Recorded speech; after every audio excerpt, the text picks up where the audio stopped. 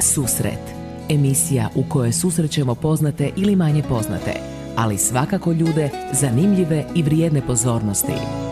Na valovima radio postaje Mir Međugorje i vi ih možete susresti.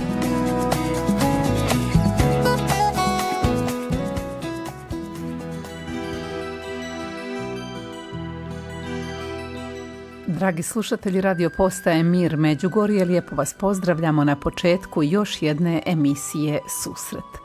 Večeras će naša tema, barem većim dijelom emisije, biti Sveti Franjo, čovjek iza naše tisućljeće, uz deseto nacionalno hodočašće Bosanskoj kraljici Katarini i susret Franjevačkog svjetovnog reda Bosne i Hercegovine, koji je održan jučer, a s nama je Fradane Karačić, nacionalni duhovni asistent Franjevačkog svjetovnog reda Bosne i Hercegovine. Hvaljeni su si Marija, dobrodošli. Uvijek hvaljeni su si Marija, lijepo vam pozdrav vama voditeljice i svim slušateljima radija Postaje Mir Međugorje. Fradane Karačić je i na službi u Širokom brijegu još uvijek aktivan i tekako pastoralac s dugim iskustvom, pa će biti govora i o nizu drugih tema. Jučer je bila misijska nedjelja, danas se spominjemo svetoga pape Ivana Pavla II.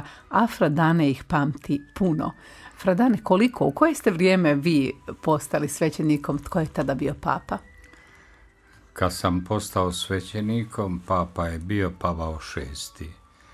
Dakle, jedan od najznamenitijih papa za naš hrvatski narod, jer to je papa koji je proglašio, službeno proglasio prvog hrvatskog sveca, svetoga Nikolu Tavelića, 21.6.1970. godine, ja sam tada bio mladomisnik i mene su poslali moje kolege da idem kod rektora da ga molim da možemo polagati ranije ispite e, da bismo mogli doći na tu svečanost proglašenja prvoga službeno proglašenje prvog hrvatskog sveca.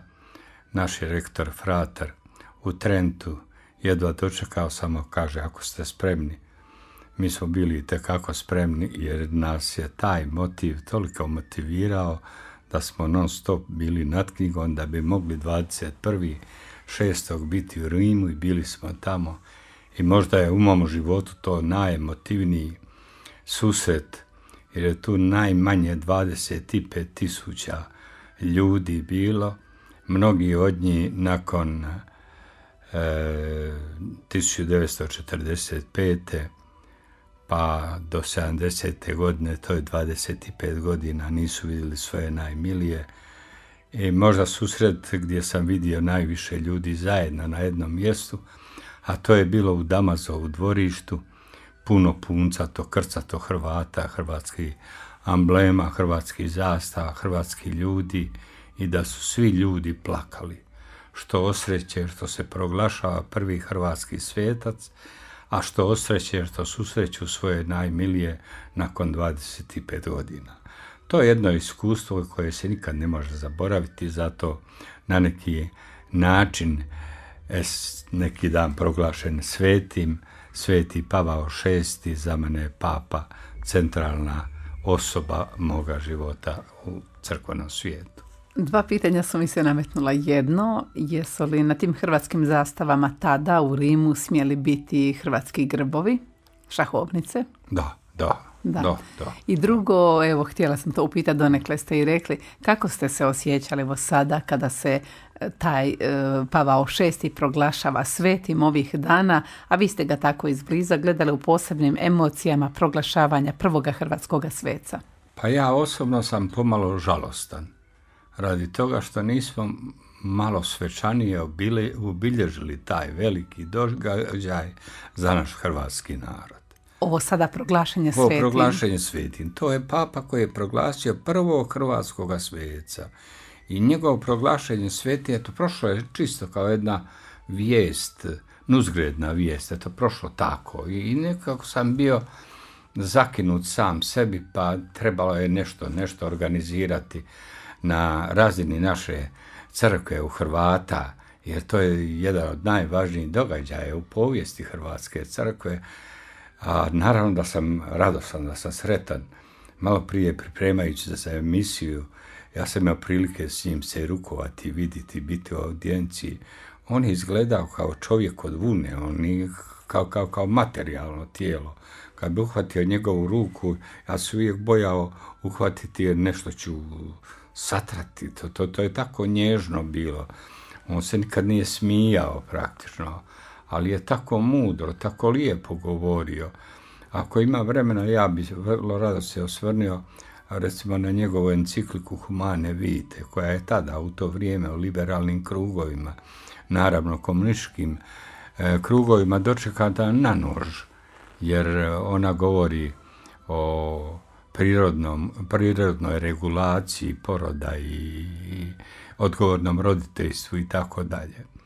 Međutim, ozbiljni ljudi, ozbiljni znanstvenici koji ozbiljno proučavaju taj problem, ne da bi sutra izišlo u na veliki naslov, već ozbiljno proučavaju. Svi oni kažu Pava, Papa, Pavao šest ima pravo.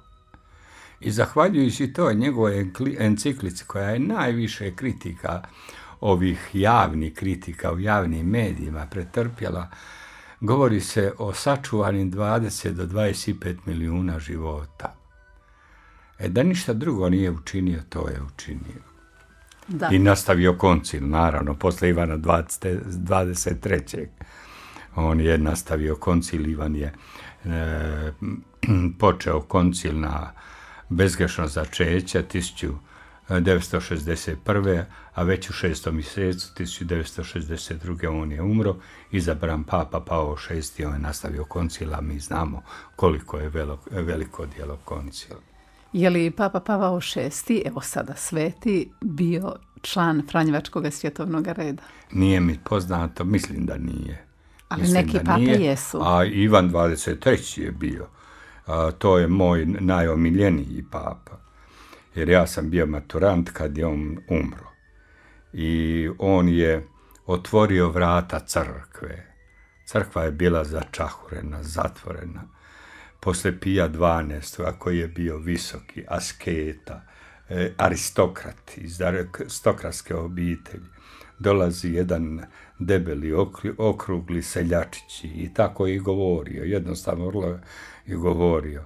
Ali on je svojom pojavom, isti dan, istu večer, kad je se prvi put pojavio na prozoru i počeo govoriti, njega su pozvali Papa Dobri. On je bio dobar. I prvu stvar koju je učinio za nas Franjevce na ponos, otišao je nakon 450 godina na hodočašće u Asiz. To je prvi papa koji je nakon 450 godina, tu je oko prilike, sad nisam precizan, u godinu dana ili u par godina, koji je izišao iz Vatikana i otišao na hodočašće. I on je počeo govoriti o ađornamentu, po današnjenju crkve, da se u crkvi treba mijenjati. On je otvorio vrata crkve i nažalost 63. godine ja sam bio maturant, on je umro, ali on je svojom dobrotom zadivio svijet.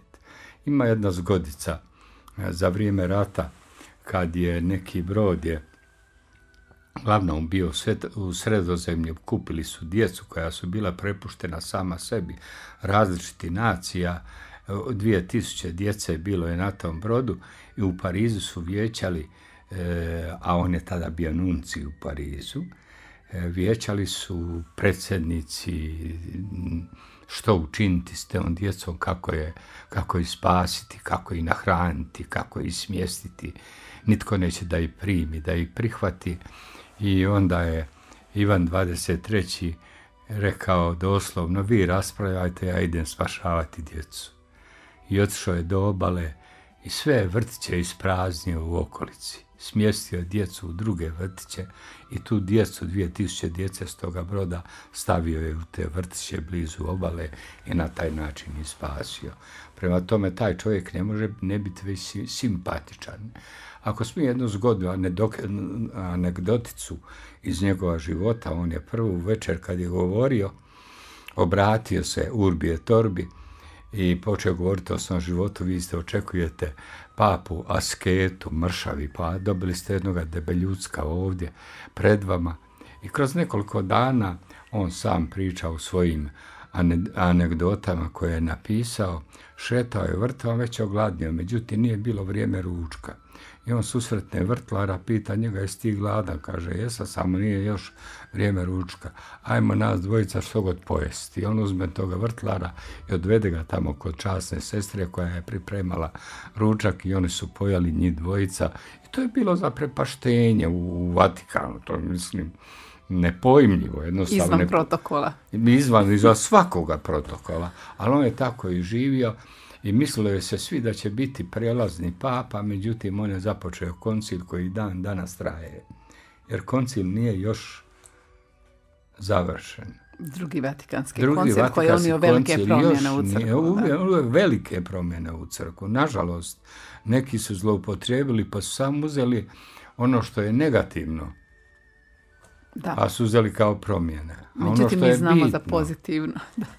To, to još nije kao što je rekao sedam papa, sad se ne sjećam točno koji je, e, tridentijski koncil uspio je zato što su ga svećenici prihvatili i premjenjivali svaki dan u praksi.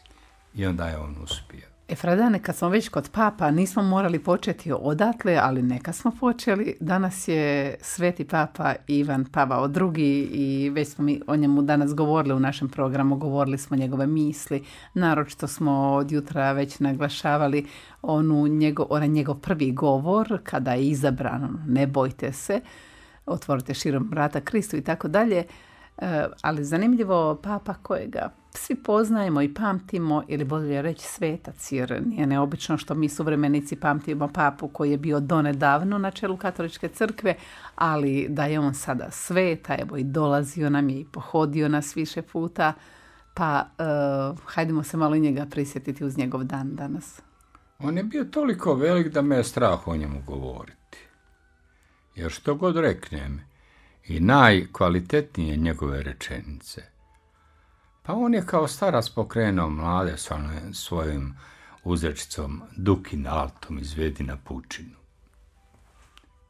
I mladež je pošla za njim. On je bio isto učitelj kad dođe u kakvu zapuštenu staru školu. Mladi učitelj. Jedan ta škola počinje živjeti. Djeca su radosnija, vrata se otvaraju na drugi način, kuća je uređena, pometena. Ja sam to znao često uspoređivati s našim Fraddakom Buncićem. Kad on 1894. ili 5. pomalo četvrte, pomalo pete, došao za profesora na široki brijeg. To je bila mali, samo stančić i mala škola, eto toliko da se preživi, da se životari. Jedan put eh, Fradidak raskriljuje ruke, idemo ovdje napraviti centar. Široki brijeg treba postaviti, postati centar i postao se centar i školstva i kulture i glazbe, a da ne govorimo građevinarstva, podignuti u to vrijeme, u ono vrijeme crku. Vi znate, gospođo, da da je on kad je počeo crku graditi, nije toga bio ni svjestan. Najprije e, kamen pripravljao sa, napravio ona tračnice i vagonete i dovozio kamen na onaj plato ispred crkve. Kad je počeo zida crkvu, niko ne zna klesat kamen. Pa je išao po Zadru, tražio majstor, otvorio majstorsku radioncu. On je od jedne da kažemo sredine koja je gotovo bila nepoznata, iako katolička crkva je bila uvijek poznata, dolazi papa i sveti Ivan e, Pavao II, on otvara crkvu. Crkva postaje simpatična. Naravno da će uvijek imati svojih protivnika. Svako dobro djelo ima svojih protivnika. Jer kad ne bi imala dobri svoji protivnika, onda i nije ni dobro djelo. Dakle, nešto je ravnodušno. A on je imao i svojih protivnika. Ali on je u crkvu učinio simpatičnom. Tako da je njega volio svatko. I onaj koji je bio vjernik i onaj koji je bio nevjernik. I znamo da je se borio do posljednjega trenutka. Njemu ništa nije bilo teško. Znate šta me najviše zadivilo? Kad je on pjevao zdravo tijelo Zdravo djevo u Solinu. Zdravo djevo, da. Da, rajska I, o- djevo, da. Ovaj, i, I što kažu talijani, ali on pjeva stonato, on, on, on, on ne pogađa note, on krivo pjeva, ali on nastavlja, zdravo djevo, kraljica Hrvata i on zajedno s nama Hrvatima pjeva. Jedan, jedan veliki poklon, jedan e, veliko priznanje hrvatskom narodu, a ima je zašto i priznavati. Jer hrvatski narod, rekao je netko predziđe kršćanstva i bili smo predziđe kršćanstva, ali mi smo bili stvarno kršćanstvo, pogotovo mi ovdje u Hercegovini, gdje je veliku, veliku ulogu ono o čem smo i počeli govoriti odigrao treći red i prvi red Svetoga Franje. Dakle, Sveti je Franjo ovdje ukorijenio se i tekako kroz 800 godina pustio je korijene na sve strane i on je prisutan. I ovaj narod, mi pogotovo u Hercegovini i Bosni i Dalmaciji, mi smo postali franjevački narod i naša duhovnost ne može drugačija biti od franjevačka duhovnost. Svaka druga duhovnost koja je tu, koju poštujem, koja na drugom mjestu izvaredno uspjeva, ali ovdje je nakalemljena, nije, nije, nije to ona izvorna naša, jer mi imamo tu našu izvornu duhovnost koja nas je održala u svim tim teškim i turbulentnim vremenima do dana današnjega, pa eto zadnja je bila i ovo hodočašće kraljici Katarini. E, Vraćamo tomu se. ćemo se vratiti kasnije i Franjevačkoj duhovnosti i ovoj kraljici Katarine, a sada ćemo poslušati papu Ivana Pavla II. svetoga papu kako on moli oče naš, dakle papa i aba pater.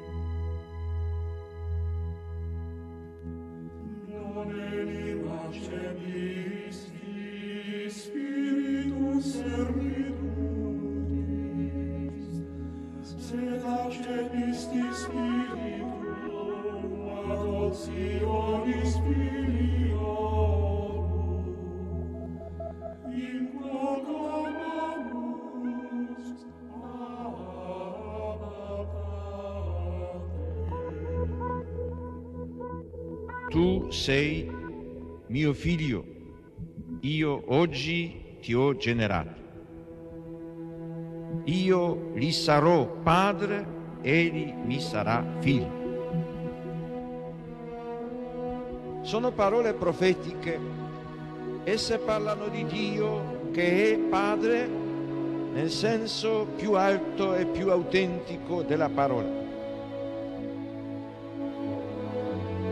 Dice Isaia, Signore, tu sei nostro Padre, noi siamo argilla e tu colui che ci dà forma. Tutti noi siamo opera delle tue mani.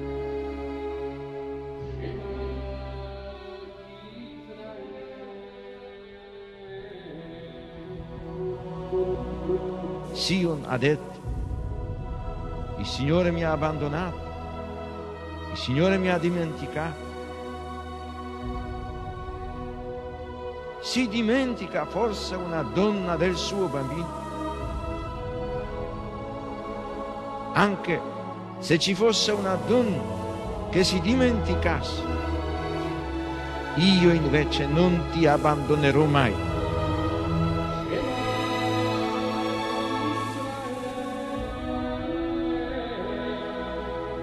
È significativo che nei brani del profeta Isaia la paternità di Dio si arricchisca di connotazioni che si ispirano alla maternità. Gesù annunzia molte volte la paternità di Dio nei riguardi degli uomini, riallacciandosi alle numerose espressioni contenute nell'Antico Testamento. Per Gesù Dio non è solamente il Padre di Israele, il Padre degli uomini, ma il padre suo, il padre mio. Pater noster, pies in celis,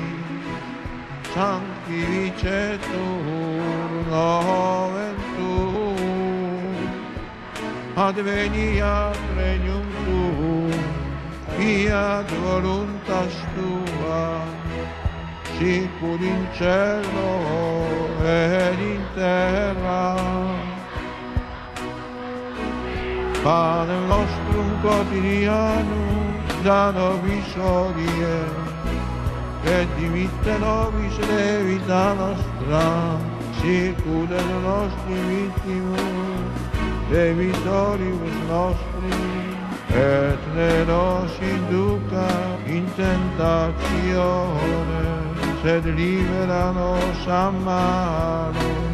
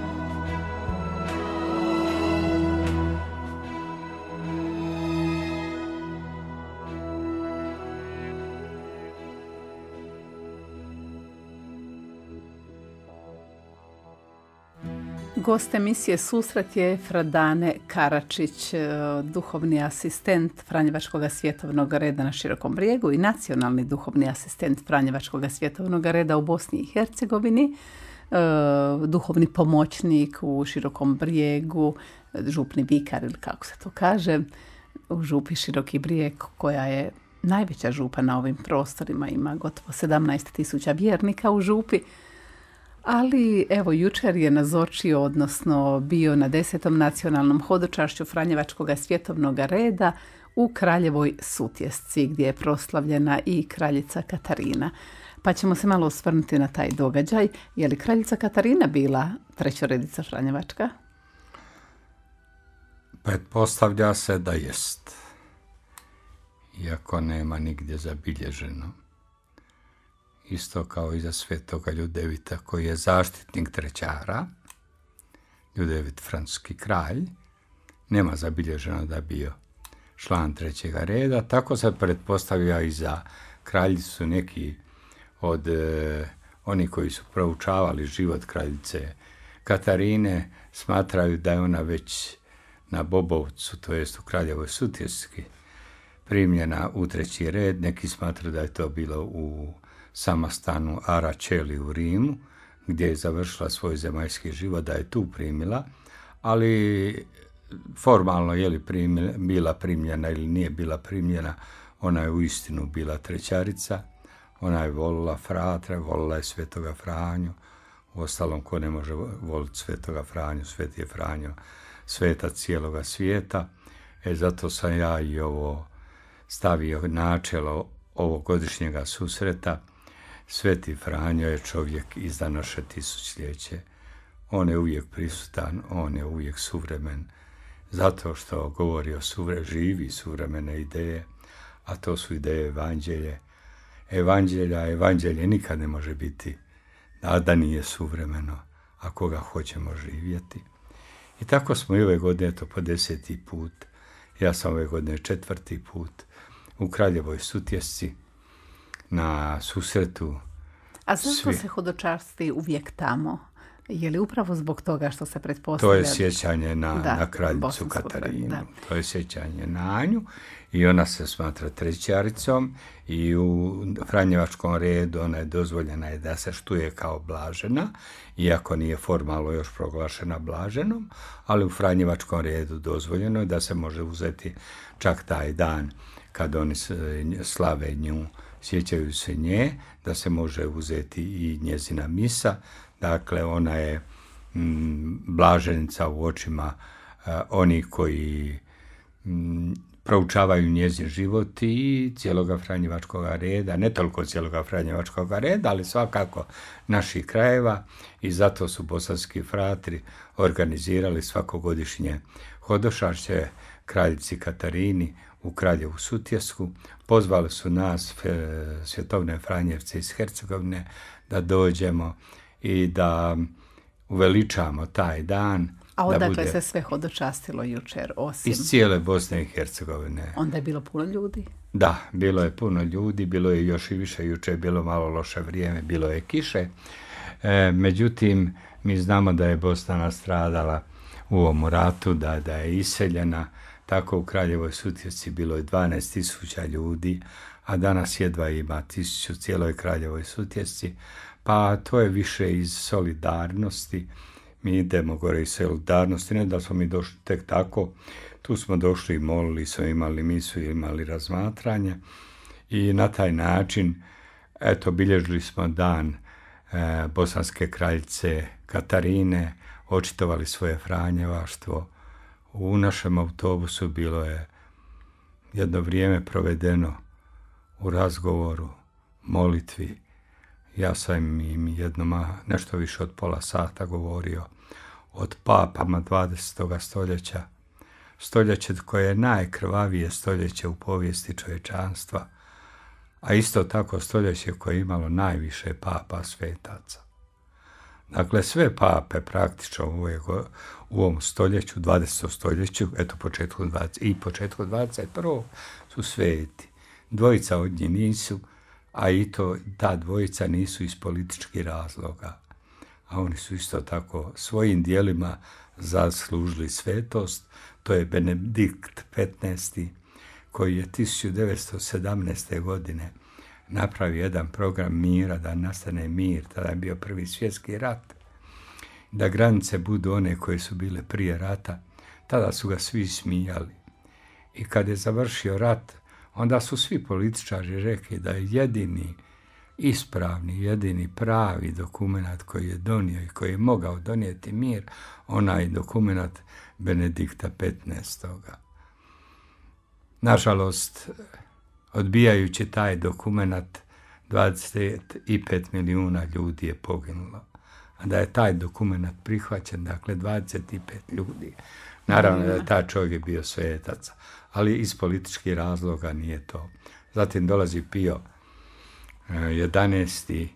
isto tako, koji je se borio za Vatikan, da se konačno Vatikan uspostavi kao država, jer znate, tada su bile još u 19. stoljeću bitke od Garibaldija pa dalje o papinskoj državi i sve da na Vatikan i trebalo je skopiti vatikanske ne, latika, lateranske ugovore definirati. Međutim, jedna druga stvar, on je napisao Jus Jurandum Antimodernisticum. Dakle, prvi čovjek koji je jasno i glasno osudio nacizam i komunizam i fašizam. I mi smo to kao mladi svećenici morali polagati taj Jus Jurandum Antimodernisticum Pija 11.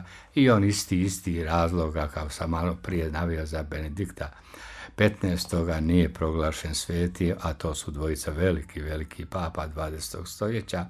Pio 12. naravno, on koji je spasio 12 milijuna židova, međutim, propaganda koja može učiniti neizmjerno mnogo dobro, ali isto tako neizmjerno mnogo zla, e, nije dopustila da Papa Pio XII bude sveti koji je uistinu bio svet.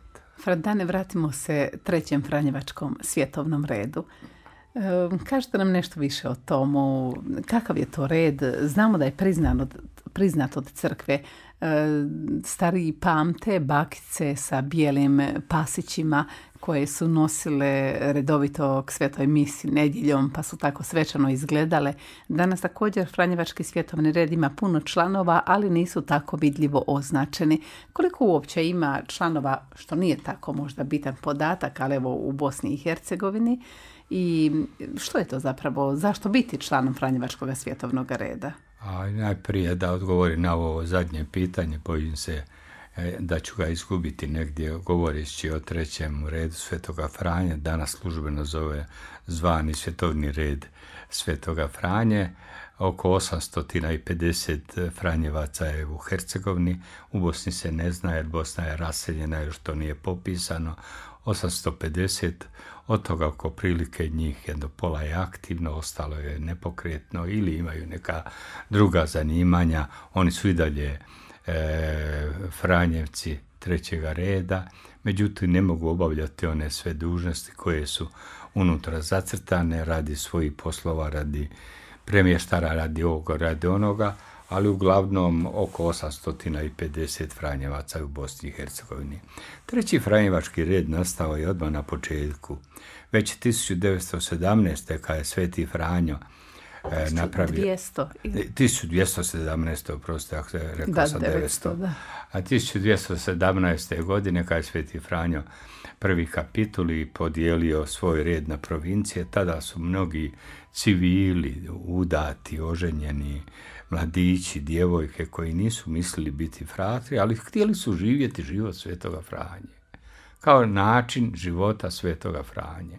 I onda je Sveti Franjo e, osnovao treći red Svetoga Franje.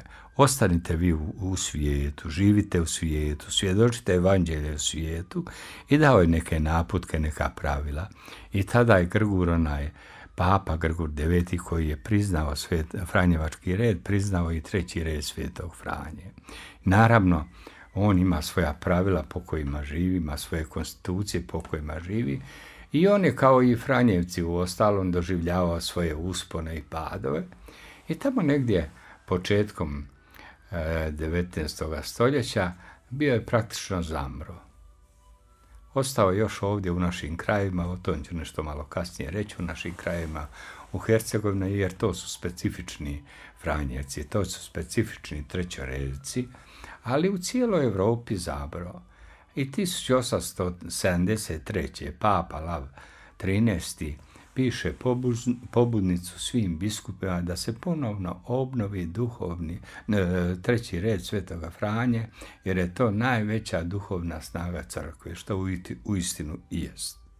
On je od crkve priznat, on ima svoje konstitucije, on je e, papinskog karaktera i zadnji veliki zahvat učinio je sad dragi sveti papa Pavao VI prije 40 godina obnovio je konstitucija, obnovio je pravilo e, života Franjevaca i, i tada je prozvan svjetovni red Svetoga Franje, on se danas službeno zove tako i on i dan danas on je jedna velika, jedna velika organizacija, duhovna organizacija u crkvi, jer e, svjetovni Franjevci ne traže nikakve privilegije, ne traže nikakva mjesta, oni samo žive kao što živi Sveti Franjo. Sad su imali, ako imate priliku razgovarati s ovim koji su bili, u Litvi imali su opći sastanak kongres e, trećara, Franjevaca svjetovnog reda u Litvi i jedan doživljaj koji je ponio, donio je jednostavno mnogo e, novoga poleta, nove snage i to je se tu održavalo, zato je sveti, ovaj sveti red, svetovni red svetoga Franje i jedna duhovna snaga koji danas crkvi. Ja znam, to je pomalo propovjednički, a ja sam propovjednik, ja ne mogu drugačije govoriti, reći propovjednički, ja znam reći u propovjedima gdje je u kući e, trećar ili trećarica, ta je kuća blagoslovljena. Gdje je u kući red, trećar ili trećarica, u toj se kući moli. U toj kući nema svađe, u toj kući nema pobačaja, u toj kući je mir, u toj kući se živi kršćanski. Prema tome, svaka kuća je blagoslovljena koja ima jednog člana koji je član svjetovnog reda, svetoga Franje ili trećar i trećarica. A da je to tako najbolje pokazuju naši trećari i trećarice koji još nisu bili kanonski oblikovani kao što je sada, mi sada u Hercegovini, evo ovdje sestra Mirela, naša područna ministrica napisala je koja, koje župe imaju kanonski oblikovani treći red, neke župe imaju, neke župe nemaju, većina i već imaju. I mi to sada obilazimo, ali naše trećarice, moji, naši djedovi i bake, prabake, oni nisu bili e, oblikovani kanonski, ali su bili trećarice i trećari, živjeli su tim životom. I to je bila jedna duhovna snaga koju ni komunizam nije mogao uništiti. Ispričat ću sad jednu zgodu iz moga života, svećeničkoga života.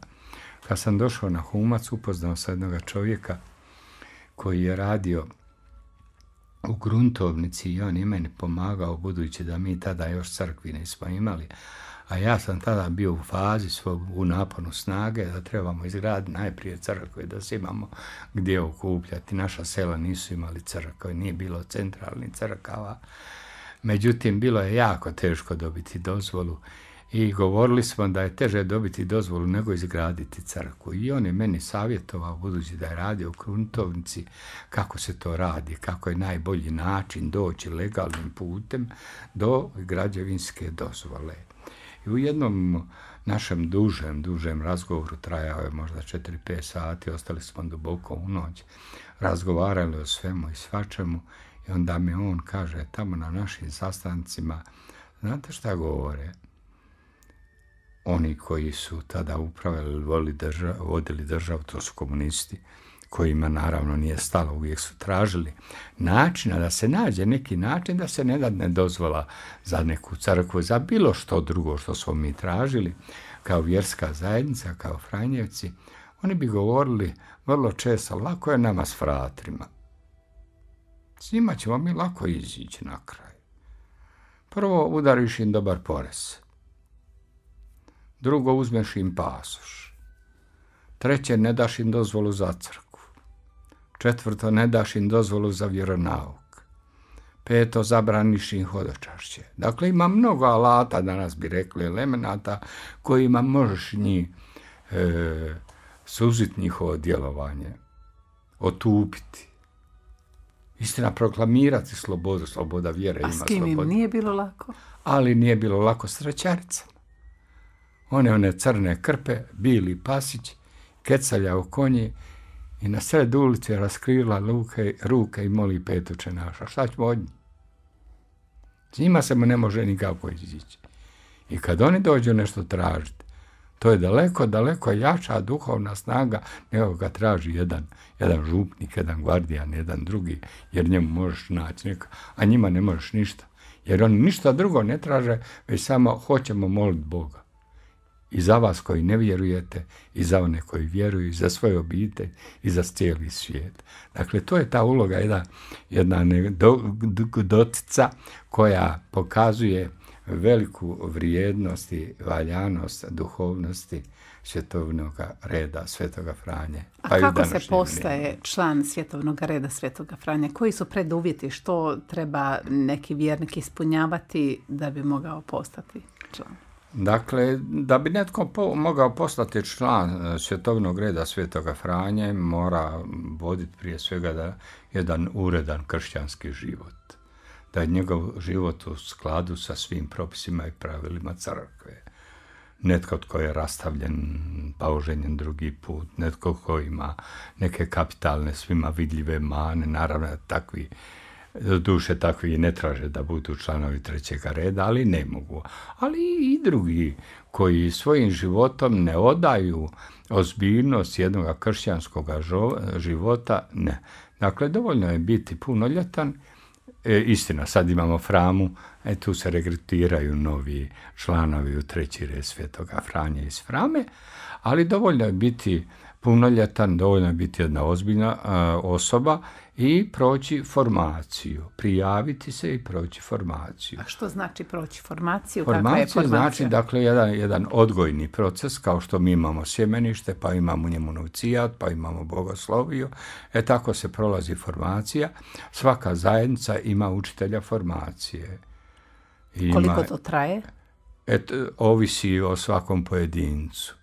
Neka traje godinu dana, neka dvi, neka tri, ovisi o svakom A tko je učitelj formacije i što on podučava kandidata? O, učitelj formacije koga izabere vijeće, odnosno sva braća dakle, i sestre. Dakle, netko od članova Netko od članova, sada je recimo I u što nas. on radi u odnosu na ovoga tko želi postati članom Franjevačkog svjetovnog reda? Oni imaju svaki tjedan svoje sastanke, na tim sastancima upoznavaju život svetoga Franje, njegovu karizmu, način njegova života, način življenja evanđelja, zatim upoznavaju konstitucije, osim onih redovnih, redovnih e, nauka, katoličke vjere, članaka, zapovjedi i tako dalje.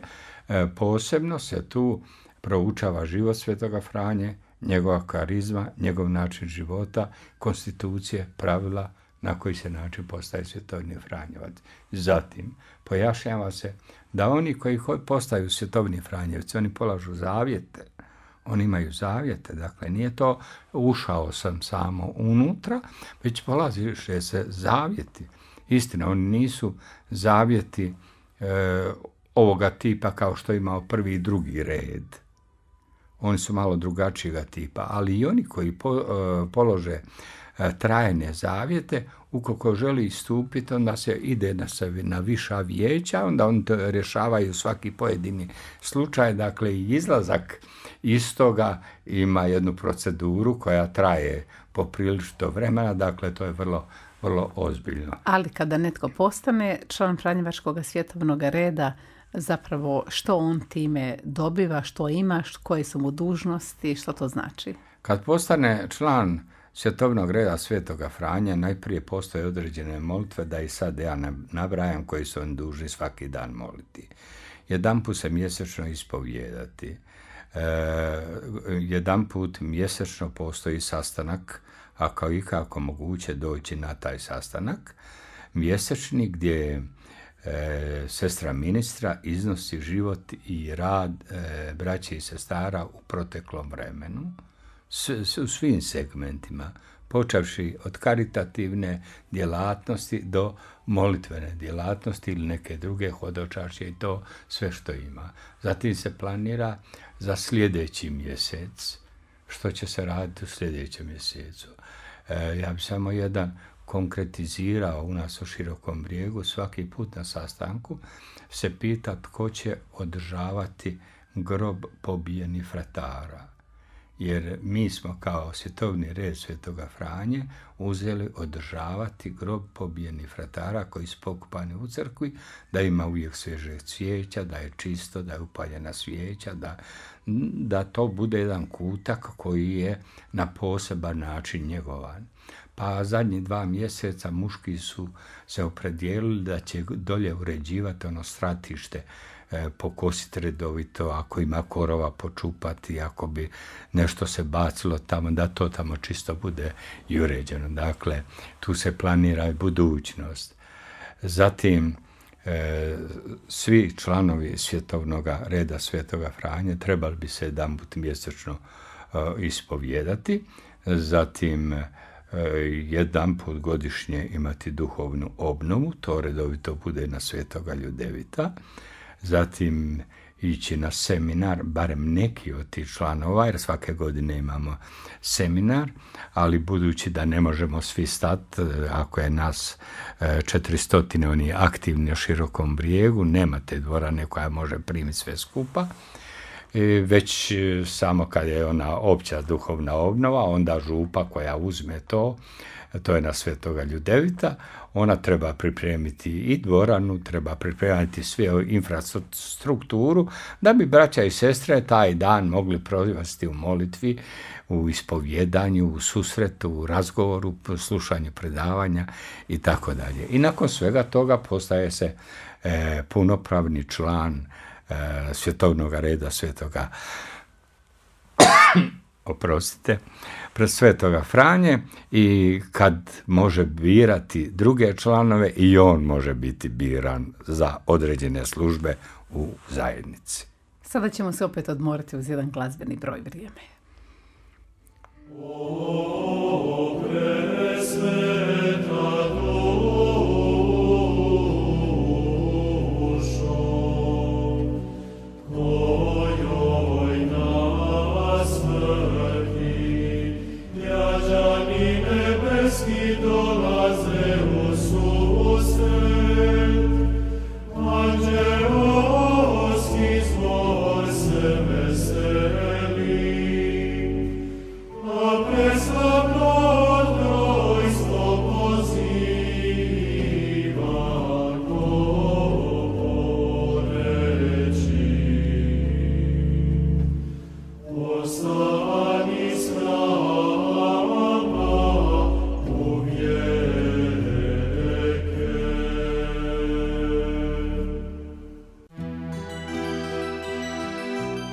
Fredane, vrijeme susreta nam brzo prolazi s vama, slušajući vas.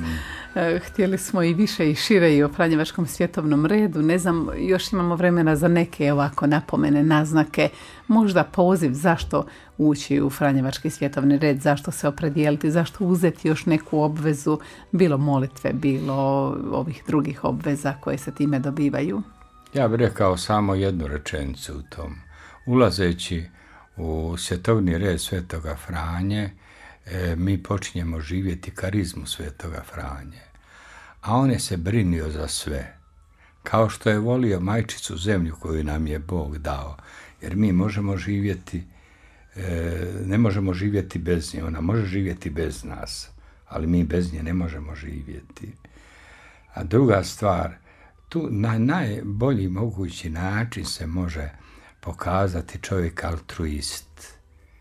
Mi imamo jako e, veliku karitativnu djelatnost.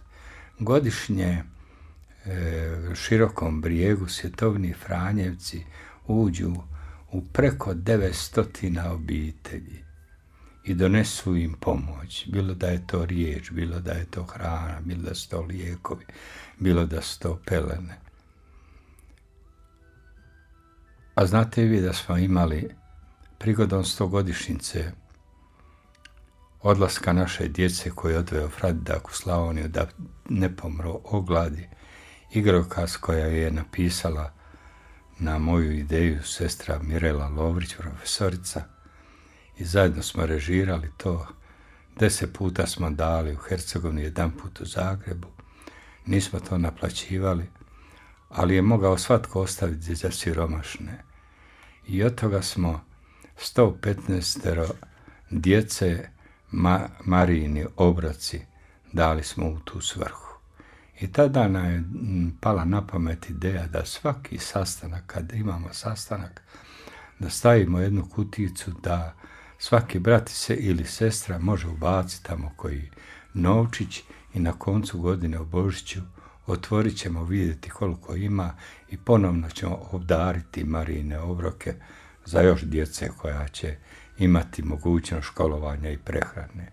Da ništa drugo ne radi, osim one molitve koje imamo u izobilju i svi duhovni obnova i lekcija divina, to je čitanje časoslova, da ništa drugo nema osim ove karitativne dimenzije, dovoljan je razlog da tko osjeća, kršćanski se osjeća, da uistinu može pristupiti, a to je crkvena institucija. To je nije institucija od danas dosta, to je crkvena institucija. Da, službeno priznata. Službeno priznata i koji papa pape, potiče da. svaki put iznova u novom vremenu da žive možda na, na, na ista ona frajna karizma, ali drugčije živje na drugi način. I, evo... I zato bi, da ništa drugo nema, pozvao bi svi oni koji imaju u sebi kršćanskog duha da pristupe toj zajednici. I evo kažemo kako su dva hrvatska kardinala bili članovi Franjevačkog svjetovnog Franjevačkog trećega reda. To su blaženi kardinal Alojzije Stepinac i sluga Božji e, kardinal Franjo Kuharić. Evo ovo još mjesec Fra, Svetoga Franja, još smo u listopadu, njegov smo blagdan proslavili 4. listopada, no Fredane da nam ne pobjegne vrijeme, a da mi ne znamo s kim razgovaramo. Obično na početku emisije predstavimo malo gosta, a dodirnuli smo pape, Svetoga Franju, ali ne i vas. Tko je Fredane Karačić? Dakle, za nas je čast da su dvojica naših kardinala bili članovi Svjetovnog reda Svetoga Franje. Još veća nam je čast da su mnoge pape bili također članovi trećega reda, a da današnji je papa uzeo ime Franju.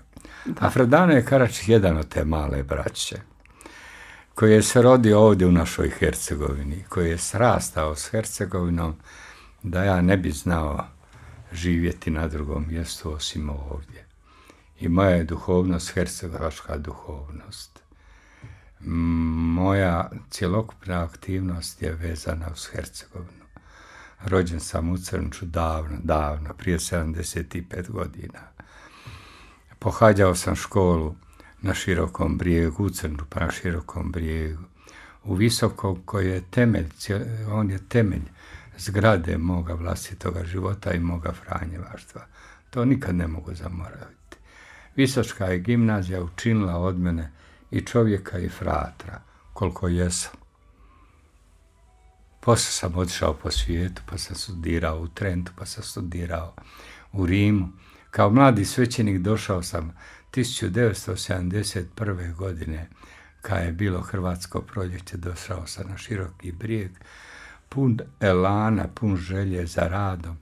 I tada mi je preokupacija, moja životna preokupacija bila kateheza.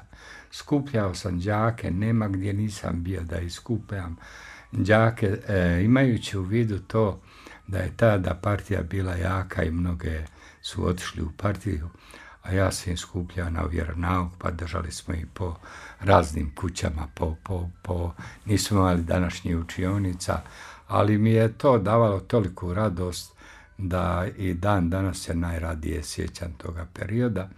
Međutim,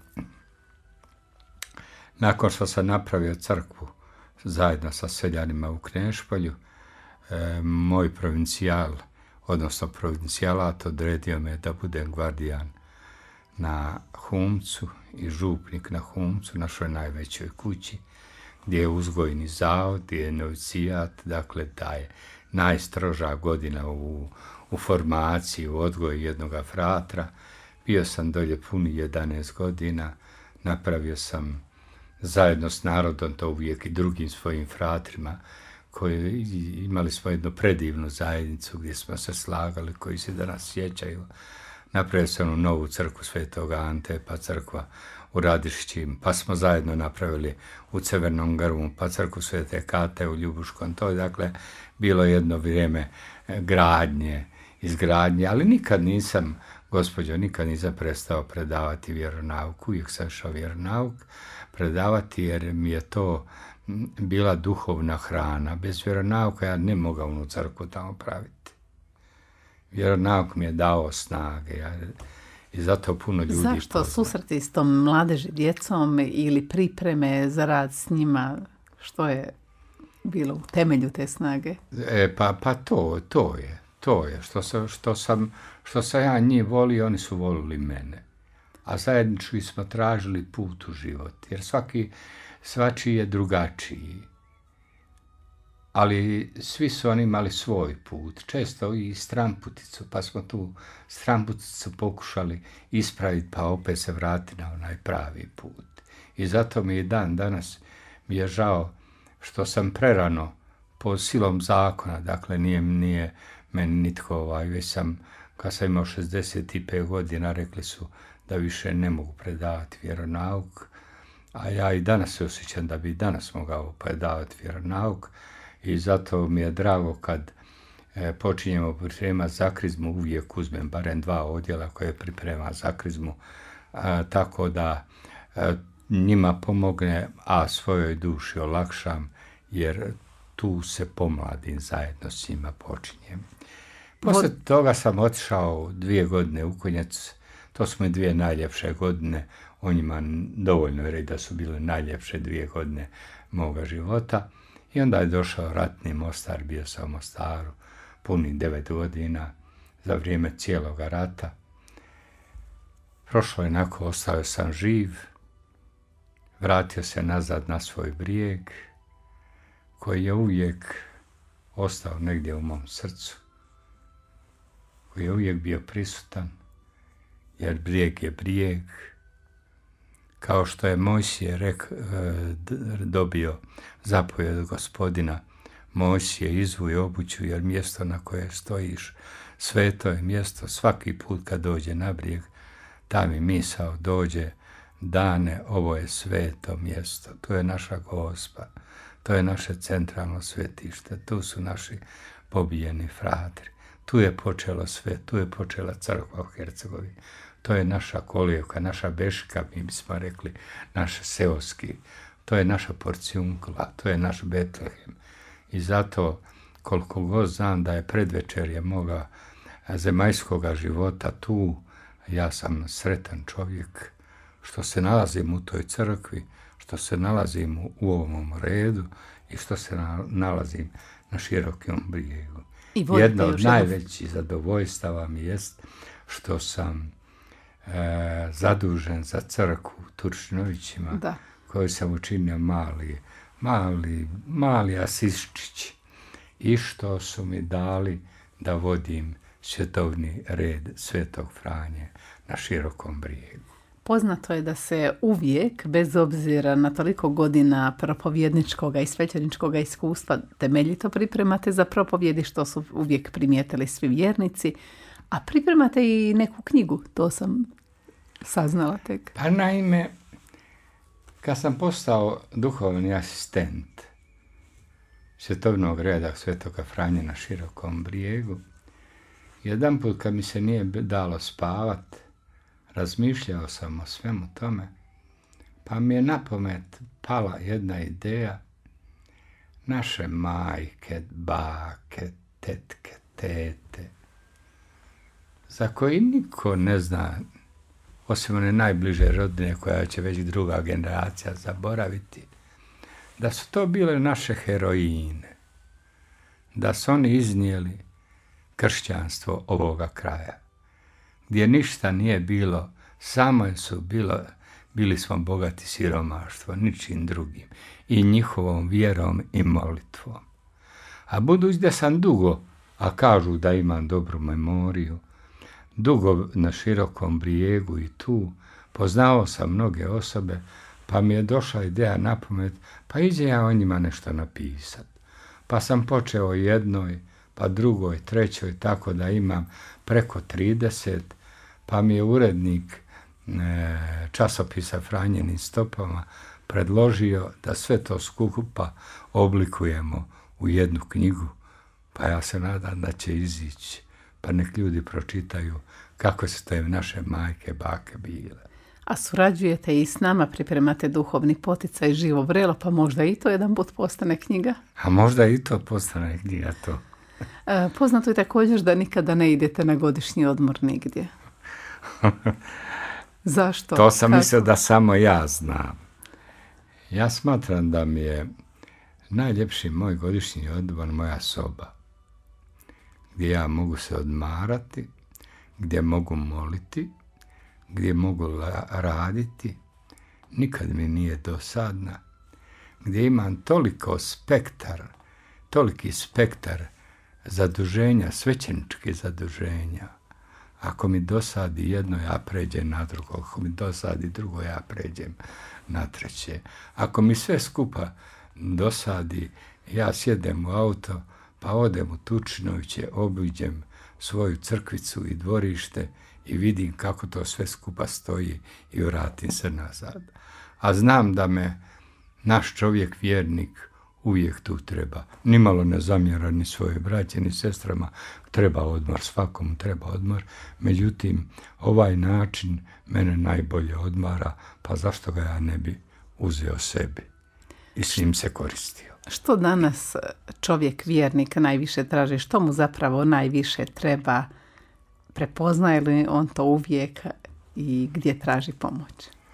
Čovjeku vjerniku najviše treba čovjek. s druge strane da je čovjek. Što su naši stari govori, jesi čovjek ili nisi čovjek. Oni svećeniku prepoznaju čovjeka, onda će prepoznati njegovu dobrotu, onda će prepoznati njegov altruizam, onda će prepoznati kad mu nešto ne možeš učiniti. On će prepoznati tvoju dobru volju. Prepoznat će onda tvoju duhovnost, prepoznat će tvoju molitvu, prepoznat će tvoju propovjed. Ja sam najponosniji sa, smije li reći, Smijete reći što god želite. Na dvije činjenice sam najponosniji. Kad sam bio u konjicu, ide jedna žena vaših godina, gospođo, i vodi jedno djetešće koje ima malo veći, malo je manje nego tvoj Martin, vaš Da. Martin. Ali jedna djevojčica koja možda ima 7-8 godina. I ona nju tegli i kaže, mama, mama, ovo je onaj frata što lipo govori misu. To mi je najljepši kompliment u životu. I to su ti trenuci od kojih čovjek živi, za koje živi i za koje se isplati žrtvovati. I drago mi je, sretan sam kad mogu čovjeku pomoći, pa čovjek to vidio i ne vidio, neki, neki vidi, neki ne vidi, ali mogu čovjeku pomoći. Ali ima netko tko vidi i bilježi. Ali on, on bilježi sve, on je tu. I evo nam lagano protiče ono vrijeme, ističe vrijeme predviđeno za emisiju. Što ćemo reći na kraju? Reći na kraju da sam ja sretan kao frate. Sretan sam kao član katoličke crkve. To je najurednija organizacija, neko oni porede koliko god hoće. Najurednija organizacija. Sretan sam što sam učenik Isusa Krista. Njegov nauk je neusporediv, ne može se uopće uspoređivati s bilo čiji naukom. Sretan sam što sam fratar. Sretan sam što imam ovakvu braću i sestre koji su članovi četovnog reda Svetog Franje, kad se mogu i ja njima izjadat, kad se i oni mene mogu izjadat. E tu čovjek nađe sreću zadovoljstvo i smisao svoga rada i svega onoga što čini u životu. A što bi nam danas e, poručio Sveti Frano da je ovdje u ovom vremenu toliko stoljeća nakon što je živio da je prisutan sada živ ovdje na ovoj zemlji? Ja mislim da bi rekao onu istu rečenicu koju je rekao prvu u svojoj braći. Život je pravilo manje braće jest živjeti evanđelje. Svima nama škola je živjeti evanđelje. Fradane, hvala vam lijepa što ste bili gost emisije Susret. Nekako nam brzo prođe vrijeme. Ne dotaknemo možda puno onoga što smo još mogli i htjeli, ali evo, u Božje ruke. E, Rekli smo što smo rekli. Hvala vam, dakle, želimo vam Božji blagoslov u vašem daljnjem radu na svim područjima na kojima djelujete. Hvala vama što ste mi dali priliku da nešto kažem. Za kraj ćemo poslušati pjesmu Stvorova u izvedbi zbora Bogoslova Hercegovačke i Zadarske Franjevačke provincije, a prije toga kažemo kako je emisiju tonski realizirao Ante Jerković, uredila i vodila Višnja Spajić. Gost nam je bio dakle Fradane Karačić e, sa Širokog brijega, nacionalni duhovni asistent Franjevačkog svjetovnog reda u Bosni i Hercegovini. A nova emisija Susret na programu je za sedam dana u isto doba. Ova se može poslušati u noći na srijedu od 3 sata i 15 minuta i naravno na internetu gdje stavljamo sve naše emisije. Do slušanja.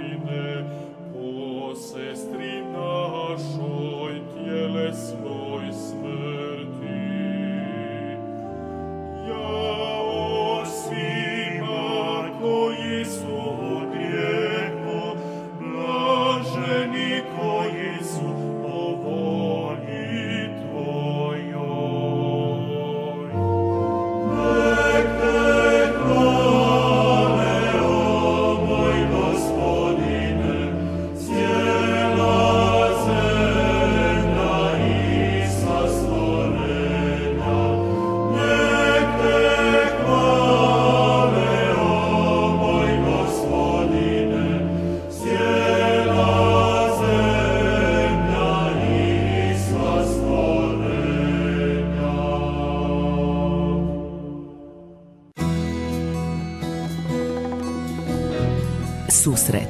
Emisija u kojoj susrećemo poznate ili manje poznate, ali svakako ljude zanimljive i vrijedne pozornosti.